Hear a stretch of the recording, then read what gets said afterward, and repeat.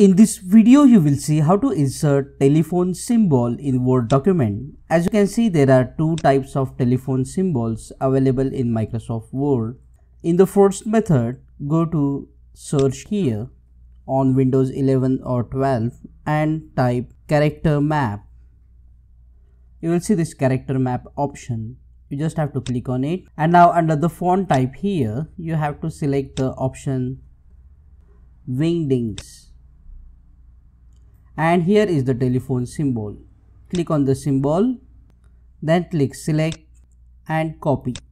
And now you can just paste it into the Word document. You can change the font size of the symbol. There is one more symbol available.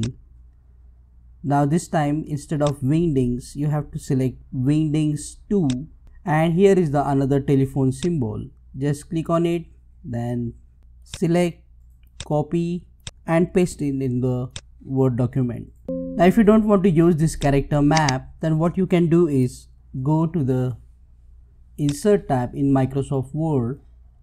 Under the symbols here click on more symbols. And here you have to type W. And you will see the option of wingdings just click on it and then you will see the telephone symbol.